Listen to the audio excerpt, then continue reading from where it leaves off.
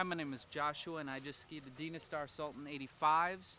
I gave these skis four stars. Uh, they were really great, smooth in the turns, could carve really nicely.